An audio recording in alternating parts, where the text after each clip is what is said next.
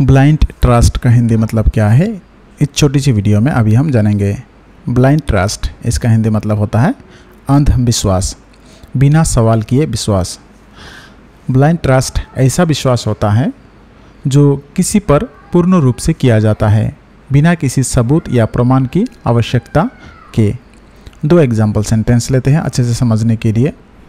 He placed blind trust in his business partner he placed blind trust in his business partner उसने अपने व्यवसायी साथी पर अंधविश्वास किया।